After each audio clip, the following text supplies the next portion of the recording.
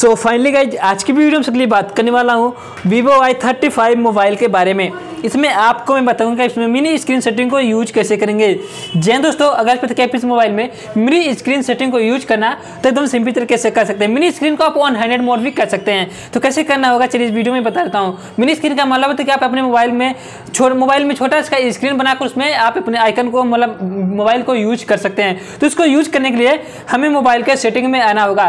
तो मैं आ जाता हूँ मोबाइल के सेटिंग में अब सेटिंग में आएँगे तो आपको सामने इस तरीके का इंटरफेस आ जाएगा। इंटरफेस आने के बाद आपको थोड़ा स्क्रॉल करना है। स्क्रॉल करेंगे तो आपको यहाँ पर मिलेगा यहाँ पर शॉर्ट कट्स एंड एसेबिलिटी तो आपको उस पर क्लिक कर देना है। तो मैं इस पर क्लिक कर देता हूँ। अब इस पर क्लिक करते हैं तो आपको ऊपर मिलेगा एस कैप्चर मिलेगा।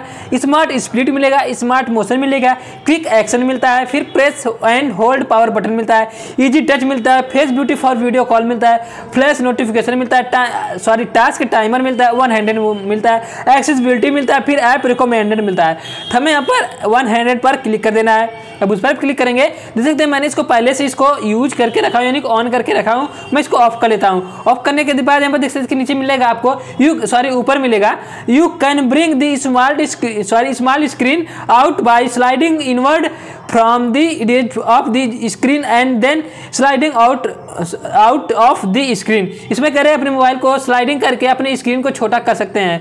तो देख सकते हैं मैं अपने स्क्रीन को यहाँ पर छोटा कर लिया हूँ। छोटा करने के बाद देख सकते हैं मेरे मोबाइल का स्क्रीन जो है यहाँ पर इस तरीके इंटरफेस में आ, आ गया है। अब यहाँ से मैं एकदम सिंपल तरीके से इसमें यूज़ कर सकता हूँ मेरी स्क्रीन को। तो देख सकते हैं, अब आपको पूरा मोबाइल टच करने की ज़रूरत नहीं पड़ेगी। आप एकदम यहीं से कर सकते हैं, मेरी स्क्रीन को यूज़ तो यहाँ पर देख सकते हैं, मेरा मोबाइल यहाँ पर इस छोटे स्क्रीन में हो गया है। अब इसके आइकन को भी आप बड़ा करना चाहते हैं तो कर सकते हैं छोड़ा मतलब इसको तो बड़ा करने के लिए आपको लेफ़्ट साइड में एक आइकन मिलेगा आप देख सकते हैं ऊपर। तो आपको उस पर क्लिक कर देना है।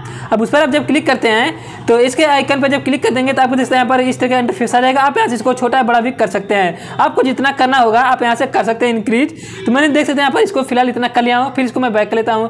आप यहाँ से भी कर सकते हैं वन हंड्रेड मोड को यूज़ एंड आपको यहाँ पर मिलेगा, आप मतलब कंट्रोल सेंटर्स भी कर सकते हैं। तो यहाँ पर मिलेगा यहाँ पर मिनी स्क्रीन मोड आप यहाँ से भी इसको यूज़ कर सकते हैं मिनी स्क्रीन मोड को।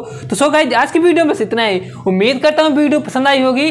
वीडियो पसंद आई होगी वीडियो को लाइक कीजिए चैनल को सब्सक्राइब कीजिए। मुझे इंस्टाग्राम पर फॉलो भी कर सकते हैं। लिंक आपको डिस्क्रिप्शन में मिल जाएगा। मिलते हैं नेक्स्ट वीडियो नेक्स्ट टॉपिक के साथ। तब तक लिए बाय बाय